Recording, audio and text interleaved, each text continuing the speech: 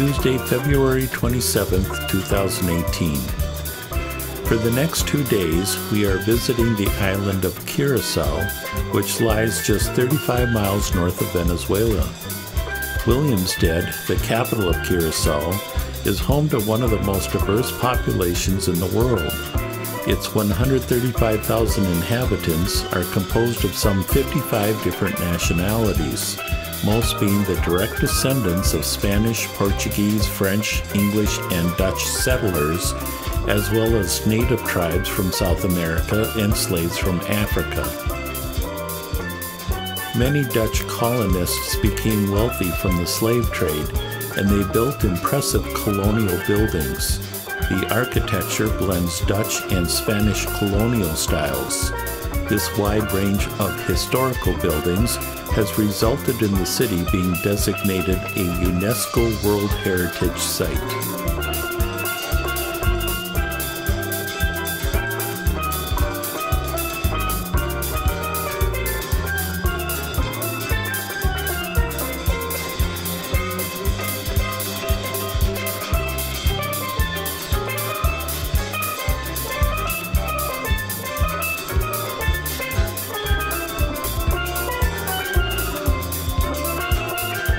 Being close to the oil fields of Venezuela, the harbor is one of the largest oil handling ports in the Caribbean.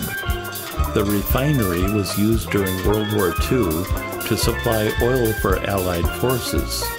After the war, discarded 55 gallon oil drums were made into steel drums.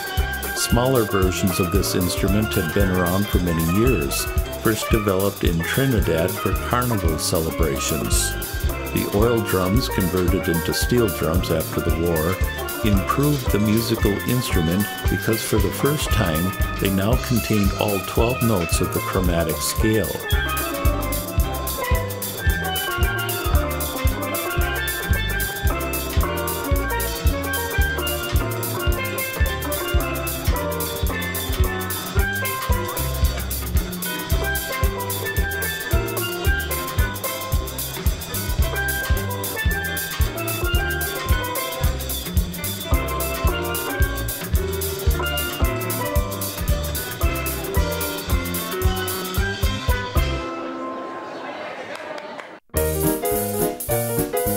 In the evening, Sue and I go on a harbor cruise excursion, which takes us along the coast to see the many resorts.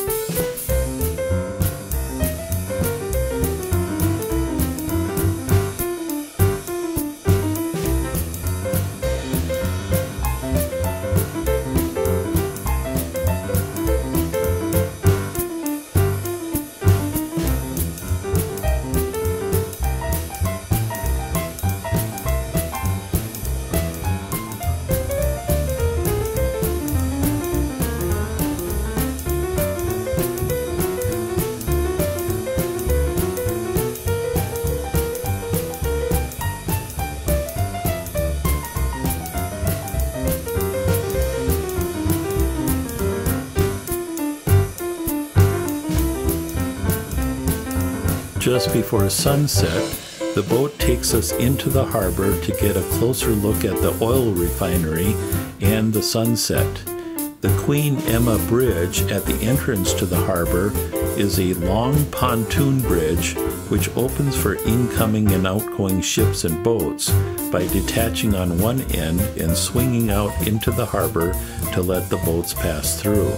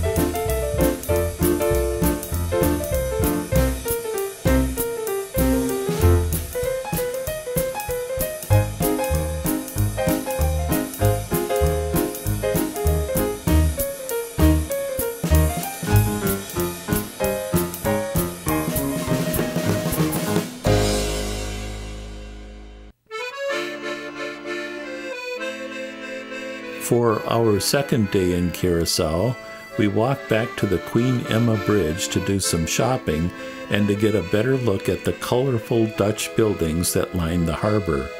They remind us of the buildings along the canals of Amsterdam and Copenhagen.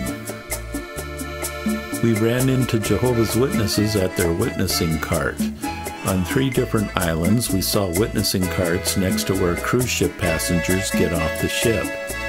We also met sisters at a booth selling clothing and another working in a gift shop. On one island, they told us about how on certain days for certain ships, they are allowed to board the ship to talk with the ship's crew members.